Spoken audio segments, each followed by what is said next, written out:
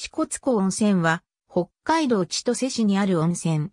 支笏島や国立公園内、支笏湖の東岸に、支笏湖温泉が、北西側に丸駒温泉、支笏湖伊東温泉が存在する。いずれも湖畔に位置する。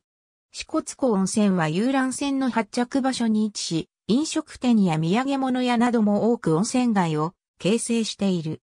丸駒温泉、支笏湖伊東温泉は、それぞれ一軒宿である。また、かつて奥深地区に、おこたん温泉も存在したが、現在では、廃油となっている。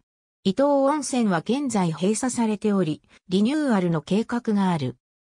いずれの温泉でも、阿寒湖から支笏湖に移植されたヒメマスを使った料理などが名物となっている。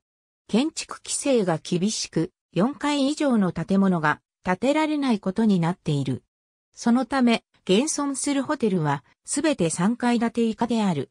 支笏湖畔で最も古い丸駒温泉の開け湯は大正4年。かつては湖畔を行く船のみが交通手段であった。現在は陸路が確保されている。支笏湖温泉は1974年にボーリングにより輸出したものである。2021年8月30日、丸駒温泉が札幌地方裁判所に民事再生法の適用を申請した。新型コロナウイルス感染症の影響などによる利用者の減少が原因。